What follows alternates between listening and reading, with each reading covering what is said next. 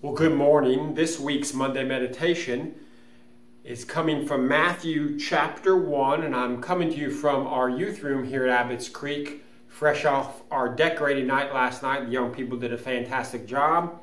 And I want to read to you from Matthew chapter 1, uh, verses 18 down through verse 25. And during the month of December, I know we're still in November, but we're moving in December tomorrow, December 1st.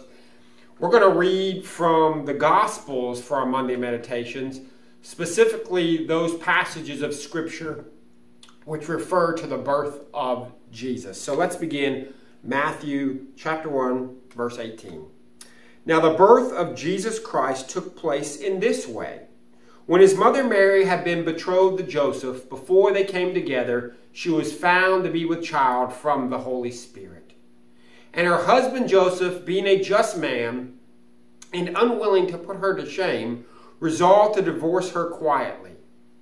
But as he considered these things, behold, an angel of the Lord appeared to him in a dream, saying, Joseph, son of David, do not fear to take Mary as your wife, for that which was conceived in her is from the Holy Spirit. She will bear a son, and you shall call his name Jesus, for he will save his people from their sins. All this took place to fulfill what the Lord had spoken by the prophet.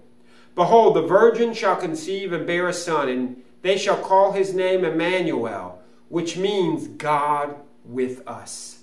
When Joseph woke from sleep, he did as the angel of the Lord commanded him.